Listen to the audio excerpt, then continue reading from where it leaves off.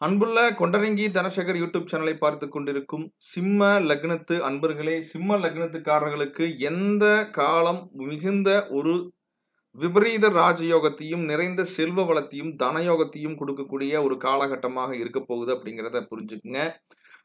பொதுவாக உங்களுடைய லக்னம் உங்களுக்கு தெரியும் சில நிறைய பேர்த்துக்கு. ஆனால் சில பேர்த்துக்கு கேட்குறவங்களுக்கும் வந்து தான் எந்த லக்னம் தெரியாது. அப்போ உங்களுடைய ஜாதக குறிப்புலையும் நோட்லையும் பார்த்தீங்க அப்படின்னா ராசி கட்டத்தில் பாருங்கள் அந்த இடத்துல வந்து கிராஸ் பண்ணியிருப்பாங்க. சிம்மம்னு எழுதியிருக்க மாட்டாங்க. ஆனா இந்த இடத்துல லா அப்படின்னு போட்டு கிராஸ் பண்ணியிருந்தாங்க அப்படின்னா நீங்க சிம்ம லக்னத்துல பிறந்திருக்கிறீங்கன்னு அர்த்தம்.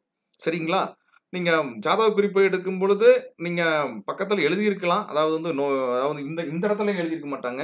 ஆனா குறிப்புகள் எழுதும் பொழுது அந்த வாசிச்சிங்கன்னா அந்த இடத்துல சிம்ம லக்னம் எழுதியிருப்பாங்க. அப்ப ஈஸியா கண்டுபிடிக்கிறதுனா ராசி கட்டத்துல இந்த கிராஸ் பண்ணி லான்னு போட்டாவே சிம்ம லக்னம் தெரிஞ்சுக்கோங்க. இந்த சிம்ம லக்னத்துக்கு யார் அதிபதி? சூரியன்.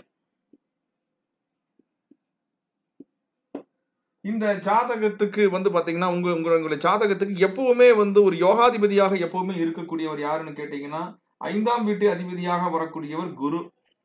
இவர் வந்து பாத்தீங்க அப்படின்னா எட்டாம் வீடான இந்த குரு இங்க இங்க இதுக்கும் அதிபதியாக வர்றார். அஷ்டமாதிபதியாகவும் வருவார்.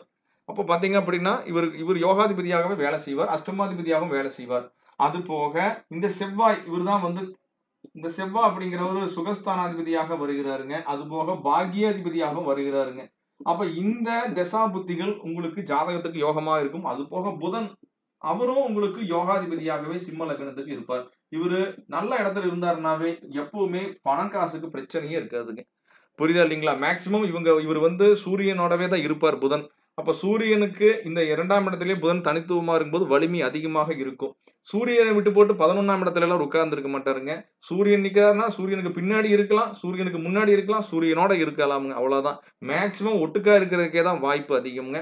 சூரியனை விட்டு முன்னாடி வர்றதுக்கு தான் அதிகமான வாய்ப்பு. பின்னாடி போறது கூட குறைவாக தான் இருக்கும். அப்போ புரிந்து கொள்ளுங்கள் இந்த இது வந்து யோகாதிபதிகள் இவர்கள் எல்லாமே. ஆனா இவர்களுக்கு இந்த யோகாதிபதிகள்ங்கிறது நட்பின் அடிப்படையில். பாதகத்தை உருவாக்குபவர்கள் ரொம்பவுமே ஒரு தீய பலன்களை கொடுக்கிறவர்கள்னு சொல்லி போட்டு இந்த சிம்ம லக்னத்துக்கு இருக்கிறாங்க. அவர்கள் தான் ரொம்பவுமே ஒரு கொஞ்சம் ஆப்போசிட்டாக வேலை செய்வாங்க. நல்லா புரிஞ்சுக்கணும் இந்த சூரியனுக்கு சந்திரன் பகையாக வந்து இருக்க மாட்டாருங்க. ஆனா அவருக்கு கொடுக்கப்பட்ட பொறுப்பின் அடிப்படையில அவர் விரையாதிபதியாக வேலை செய்வார். அப்போ இந்த லக்னத்துக்கு எப்பவுமே நேர் ஆப்போசிட் புரிஞ்சுக்குங்க. இந்த சனி வந்து நல்லது செய்ய மாட்டாருங்க. இவர் தான் ஆறாம் வீட்டு அதிபதி.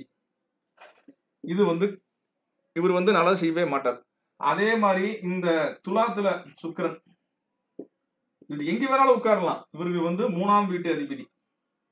மூணு ஆறு அதே மாதிரி எட்டாம் வீட்டு அதிபதி. இவர் வந்து சுபராக இருக்கார். இருந்தாலும் கொஞ்சம் அஷ்டமாதிபதியாக இருக்கிறனால கொஞ்சம் வந்து அவரு அந்த பலன்களை கொடுக்கும் பொழுது சிரமங்களை கொடுத்துக்கிட்டே நல்லா செஞ்சுக்கிட்டு இருப்பார்னு எடுத்துக்கலாம். அடுத்ததாக பன்னிரெண்டாம் வீட்டு அதிபதியாக வரக்கூடியவர் சந்திரன். அப்ப புரிந்து கொள்ளணும். இந்த சூரியனுக்கு பகை அப்படிங்கிறது சுக்கரனும் சனியும் பகையாக இருப்பாங்க. ஆனா சந்திரனும் குருவும் இங்க நட்பு தான். ஆனாலும் தங்களுக்கு கொடுக்கப்பட்ட பொறுப்பின் அடிப்படையில சில விஷயங்களை தாமதப்படுத்தி கொடுக்கறது தடை ஏற்படுத்துறது இதெல்லாம் செய்துட்டு நல்லது பண்ணுவாங்கன்னு எடுத்துக்கணும்.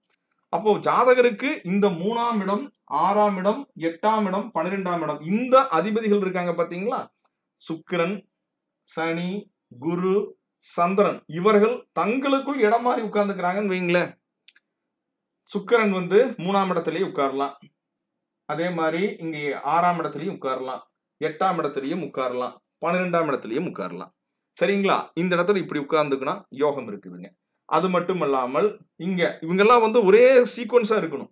அடுத்ததாக சனி இங்க வந்து அவர் மூணாம் இடத்துல உட்காரலாம். ஆறாம் இடத்துலயே உட்காரலாம். மீனத்திலையும் உட்காரலாம். கடகத்திலையும் உட்காரலாம். சனி. அடுத்ததாக குரு. இங்க இங்க உட்காரக்கூடாது. விபரீத ராஜயோகத்தை. இங்க உட்கார்ந்தானா நார்மலான யோகம் கிடைக்கும்னா விபரீத ராஜயோகம்ங்கிறது எட்டாம் இடத்துல உட்காரலாம். அதே மாதிரி பன்னிரெண்டாம் இடத்துல உச்சமாக இருக்கலாம். அது மட்டும் இல்லாமல் இங்க துலாத்துல சுக்கரன் இங்க இருக்கலாம். சனியோட வீட்லயும் இருக்கலாம். ஆனா சனியோட வீட்டுல இருக்குது அப்படின்னா இங்க வந்து பாத்தீங்கன்னா சனியினுடைய பார்வை இருந்தா இன்னும் நல்லா இருக்கும். சனியோட சேர்ந்து இருந்தாலும் நல்லா இருக்கும். பரிவர்த்தனை யோகம் வாங்கினாலும் நல்லா இருக்கும். இந்த குரு வந்து பாத்தீங்கன்னா இங்க இருக்கார். சனி இங்க இருக்கார் அப்படின்னா பரிவர்த்தனை யோகம். இவர்களுக்குள் தங்களுக்குள் பரிவர்த்தனை யோகம் வாங்கிட்டால் நல்லா இருக்கும்.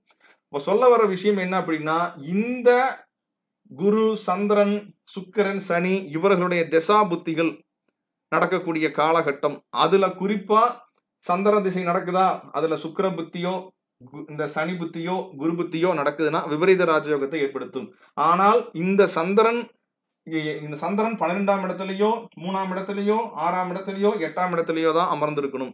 மற்றவங்களும் அதே மாதிரி தான். இந்த மூணு பேரும் மூணு ஆறு எட்டு பன்னெண்டுக்குள்ளே அமர்ந்துக்கலாம். தங்களுக்குள் பரிவர்த்தனை யோகம் வாங்கிக்கலாம் கூட்டுச்சேர்க்கையாகவும் இருந்துக்கலாம் சந்திரனோட சுக்கிரன் சனி எல்லாம் சேர்ந்துக்கலாம். இந்த பன்னெண்டுலேயே சந்திரன் சுக்கிரன் சனியும் சேர்ந்துக்கலாம். எட்டாம் இடத்துல மட்டும் தனியாக குரு அமர்ந்துக்கலாம். கணக்கு எப்படின்னா இந்த மூணு ஆறு எட்டு பன்னெண்டுக்குள்ளேயே இவர்கள் ஒட்டுக்காக இருந்துக்கணும். அவ்வளவுதான். ஒன்று ஒரு கிரகம் இருக்கணும். சில இடத்துல எல்லாம் மூணு ஆறு எட்டு பன்னெண்டுக்குள் தங்களுக்குள் மாறி இருக்கும்போது மூணு ஆறுக்குள்ள மட்டும் கோள்கள் இருக்கும். எட்டு பன்னெண்டுல கோள்கள் இருக்காது. எட்டு பன்னெண்டுல கோள்கள் இருக்கும். ஒரு சில பேர்த்துக்கு வ- அந்த மூணு ஆறுல இருக்காது. இங்க என்ன அப்படின்னா அந்த மூணு ஆறு எட்டு பன்னெண்டுக்குள்ளேயே இவர்களுடைய அந்த கணக்கு இருக்குது அப்படின்னா யோகத்தை கொடுக்கும் விபரீத ராஜ யோகத்தை கொடுக்கும் அப்படிங்கிறத புரிஞ்சுக்குங்க. அன்பர்களுக்கு இந்த இடத்துல ஒரு சந்தேகம் உங்களுக்கு இயல்பாக வரும். ஏனென்றால் இதுக்கு முன்னாடி வீடியோ வந்து பாதகாதிபதி மாரகாதிபதியினுடைய வீடியோவில் உங்களுக்கு நான் சொல்லியிருப்பேன். அதாவது பாதக மாரக காலங்களில் இந்த திசாபுத்திகளில் கவனிச்சிருக்கணும் அப்படின்னா அதில் குறிப்பாக குரு திசை சுக்கரபுத்தி நடக்கக்கூடிய காலகட்டம் சனி திசை சுக்கரபுத்தி நடக்கக்கூடிய காலகட்டம் சுக்கர திசை சனி புத்தி வரக்கூடிய காலகட்டம் இதெல்லாம் கவனமாக இருங்க அப்படின்னு சொல்லியிருப்பேன். ஆனால் நல்லா புரிஞ்சுக்கணும் இந்த சிம்ம லக்னத்துக்கு இவர்கள் எல்லாமே கெட்டு இருந்தால் யோகத்தை கொடுப்பார்கள் அப்படிங்கிறது தான் இந்த அமைப்பு. அப்போது ஒரே விதியை வந்து எல்லா இடத்துலையும் கொண்டு போக முடியாது. இந்த விதி இங்கே சில மாற்றங்களுக்கு உட்படுத்தி தான் நம்ம பார்க்கணும். இது விபரீத ராஜயோக அமைப்புக்குள்ளே வரக்கூடிய விஷயங்கிறதுனால இங்கே பெரிய அளவுக்கு மாரக பாதகங்கள் நிகழாது அப்படிங்கிறத புரிஞ்சுக்கணும். அப்போது இங்கே பாதக மாரக காலங்கள் அப்படிங்கிறது ஜாதகர் அந்த திசா புத்தியில் இந்த மூணு ஆறு எட்டு பன்னெண்டுக்குள்ளேயே இந்த நான் மேற்சொல்ல கோள்கள் இருக்குதா அப்படிங்கிறத பாருங்க. அப்படி பார்க்கும் பொழுது தான் உங்களுக்கு தெளிவாக உங்களுக்கு புரியும். அப்போ எப்போ அந்த அமைப்பு கொடுக்குன்னா இவர்களுக்குள்ள வரக்கூடிய அந்த தசா புத்திகள். இப்போ வந்து அந்த மாதிரி அமைப்பில் இருக்காது. குரு இங்கே உட்கார்ந்துருக்கார். அப்போ சந்திரன் இந்த மூணாம் இடத்துலையோ இல்லை ஆறாம் இடத்துலையோ உட்கார்ந்துருக்கார். இந்த சனி அப்படிங்கிறது இதே மூணு ஆறு எட்டு பன்னெண்டு அமைப்பு இருக்கா வச்சுக்கோங்க குரு திசையில் சந்திர புத்தி வரக்கூடிய காலகட்டம் குரு திசையில் சுக்கர புத்தி வரக்கூடிய காலகட்டம் குரு திசையில் சனி புத்தி வரக்கூடிய காலகட்டம். அதே மாதிரி தான் சனி மகா திசையில வரக்கூடிய காலகட்டம் சனி மகா திசையில வரக்கூடிய காலகட்டம் சனி மகா திசையில சுக்கிர வரக்கூடிய காலகட்டம். சுக்கிரனுடைய திசையில சனி புத்தி வரக்கூடிய காலகட்டம் சுக்கரனுடைய திசையில குரு புத்தி வரக்கூடிய காலகட்டம் சுக்கரனுடைய திசையில சந்திர புத்தி வரக்கூடிய காலகட்டம். இது எல்லாமே இவர்களுக்குள்ள இருக்கக்கூடிய அந்த திசா புத்திகள்ல யோகங்களை கண்டிப்பாக நல்லது கொடுத்துருவாங்க. ஆனால் நீங்க கவனிக்கப்பட வேண்டியது என்னன்னா உங்க ஜாதகத்துல நான் சொன்ன இந்த சந்திரன் சுக்கிரன் சனி குரு இவர்கள் எல்லாமே மூணு ஆறு எட்டு பன்னிரெண்டுலயே இந்த மூணாம் இடத்துலையும் ஆறாம் இடத்துலையும் எட்டாம் இடத்துலையும் பன்னிரெண்டாம் இடத்துலையுமே இந்த கோள்கள் அமைஞ்சிருக்குது அப்படின்னா யோகத்தை கொடுத்துருவாங்க. திடீர் பதவிகளை ஏற்படுத்துதல் அயல் நாட்டில் சென்று நிறைந்த யோகங்களை ஏற்படுத்துதல் சாதாரணமான நிலையிலிருந்து மிகப்பெரிய அளவுக்கு ஒரு யோகத்தை அவர்கள் கொடுக்கிறது. இப்படி பார்த்தீங்க அப்படின்னா சாதாரணமான ஒரு நிலையில் இவங்க குடும்பம் இருந்தது இன்னைக்கு பெரிய அளவு கோடீஸ்வரனாக மாறிச்சு. சாதாரணமாக ஒரு பதவியில் இருந்தார் இன்னைக்கு அரசியல் ரீதியாக பெரிய அளவுக்கு இருக்கார். இதெல்லாம் விபரீத ராஜ யோகம் இவர்களுக்குள் பரிவர்த்தனை யோகம் வாங்கிக்கலாம். பரிவர்த்தனை யோகம்னா என்ன? இப்போ சந்திரன் வந்து இங்கே இங்கே பார்த்தீங்க அப்படின்னா பன்னிரெண்டாம் வீட்டுக்கு அதிபதி. அவர் வந்து பார்த்தீங்கன்னா குருவோட வீட்டில் இருக்கார். குரு இங்கே இருக்கார். இது பரிவர்த்தனை யோகம். வீடு மாற்றி அமர்ந்து கொள்வது. அப்படி இருந்தாலும் யோகத்தை கொடுத்துருவாங்க.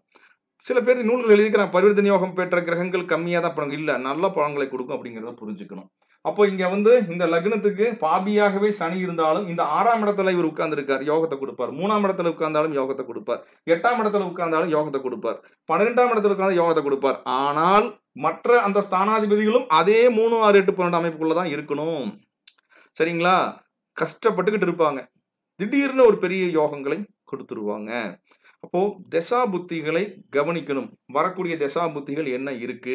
அந்த தசா புத்திகள் வந்து சரியானபடி வந்து நமக்கு இந்த அமைப்புகள் இருக்குதா? இந்த மூணு ஆறு எட்டு பன்னெண்டு அமைப்புகளுக்குள்ளேயே இந்த கிரகங்களினுடைய அந்த ஸ்தான பலம் இருக்குதா?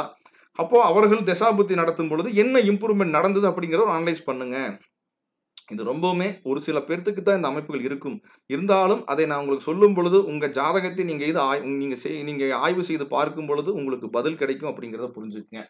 இதுதான் விபரீத ராஜயோக அமைப்பு. ஏற்கனவே ஒரே ஒரு வீடியோ மட்டும்தான் விபரீத ராஜ யோகத்தை பற்றி வீடியோ கொடுத்துருந்தேன். ஆனால் ஒவ்வொருத்தரும் வந்து ஒவ்வொரு லக்னத்தை வச்சு கேட்டுட்டு இருந்தாங்க. அப்போ வந்து நான் ஏற்கனவே பாதக மாரக காலங்களை பற்றி சொல்லியிருந்தேன். கவனமாக வாழ்க்கையில் இருக்க வேண்டிய காலங்களை பற்றி சொல்லியிருந்தேன். அதுக்கப்புறமாக எப்போ ஒரு மனிதனுக்கு ஒரு டேர்னிங் பாயிண்ட் கிடைக்கும் அப்படிங்கிறத ஒரு வீடியோ எல்லாருக்குமே போட சொல்லியிருந்தாங்க. அதன் அடிப்படையில் இந்த விபரீத ராஜயோக அமைப்பை பெற்றவர்களுக்கு உண்டான வீடியோவை இங்கே போட்டிருக்கிறேன். கமெண்ட்ஸ் பண்ணுங்கள் சில பேர்த்துக்கெல்லாம் எனக்கு நடக்கலை பண்ணலை அப்படின்னு இருப்பீங்க. ஆனால் உங்கள் ஜாதக கட்டத்துக்குள்ளே நீங்கள் பார்க்கணும். கொஞ்சம் ஆய்வு செய்து பார்க்கணும். இவர்கள் வந்து ஆனால் ஒன்று சில கேள்வி கேட்கலாம். ராகு கேதுகள்லாம் சேர்ந்துருக்கு. ராகு கேது சேர்ந்தாலும் தடைப்படுத்தாது. இந்த விபரீத ராஜகத்தை அவள் தடைப்படுத்த மாட்டார்கள். ஏனென்றால் இங்கே ஸ்தானத்துக்கு தான் முக்கியத்துவம் அதிகம். இந்த ஸ்தானத்துக்கு உண்டான அதிபதி இன்னொரு அந்த மறைவு ஸ்தானத்தில் தான் அமைய அமையிறது தான் அங்கே முக்கியத்துவம் பெருமை ஒழிய ராகு கேதுகள் தடைப்படுத்துகிற அமைப்பு கொண்டு வராது. அப்படிங்கிறத புரிஞ்சுக்குங்க. அவர்கள் திசை நடத்தும் போதெல்லாம் யோகம் கொடுக்க மாட்டாங்க. இவர்கள் திசை நடத்தும் பொழுது அவர்கள் எந்த விதமான இடைஞ்சலும் பண்ண மாட்டாங்க அப்படிங்கிறத புரிஞ்சுக்குங்க. இப்போ புரிந்திருக்கும் சிம்ம லக்னத்துக்கு ஒரு வாழ்க்கையில் ஒரு யோகத்தை பெறக்கூடியனா நான் சொல்லக்கூடிய ஜாதகத்தில் இந்த கிரக நிலவரங்கள் இருந்து உங்களுக்கு அந்த திசா புத்திகள் நடக்க போகுது அப்படின்னா உங்களுக்கு ஒரு மிகப்பெரிய ஒரு யோகம் இருக்குது.